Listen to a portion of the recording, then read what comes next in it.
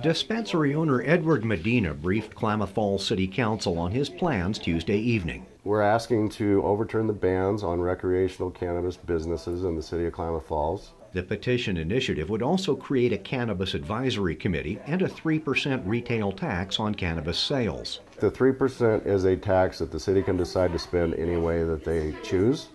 Um, in addition, they will get their share of the 17% sales tax that the state collects. Medina opened his medical marijuana dispensary in March of 2014. I never expected to become a lawyer, a politician, a doctor, and a businessman um, just to run a cannabis dispensary, but that's pretty much where it's at. Medina believes the time is right for the city to begin recreational sales. We're talking about an agricultural crop. We're an agricultural community.